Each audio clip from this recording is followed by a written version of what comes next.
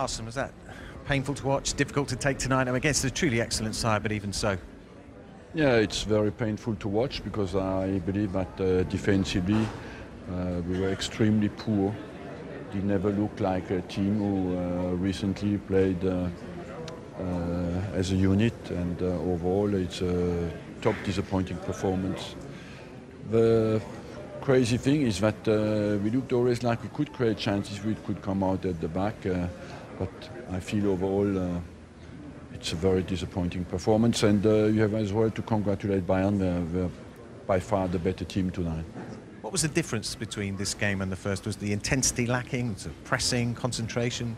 Yes, uh, all of that. No pressing, no concentration, uh, no challenges. Uh, we watched them play, and uh, they're a good side, and uh, we paid for it. Where does this leave Arsenal now in terms of qualifications? Is it a bleaker uh, picture as it seems? It leaves us short, of course. Uh, it will be very tight now, but we have to fight until the end. Let's hope that Bayern beats uh, Olympiacos here and that uh, we win at home against Zagreb. At least we'll have a chance in the last game if we, that happens uh, to qualify. It's pessimistic, I know, but it's, it, it, does have a considerable impact on the club if you don't make the last 16 of the Champions League in terms of prestige.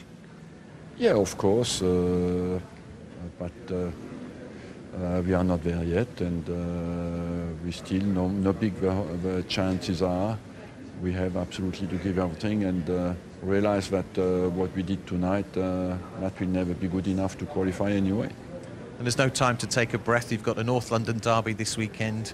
Is there any positive injury news at the likes of Koscielny or, or Bellerin? No, not yet. No, I don't think that Bellerin will be available. Nor Koscielny, we have a little hope. We have to see on Friday, Saturday. Thank you for your time.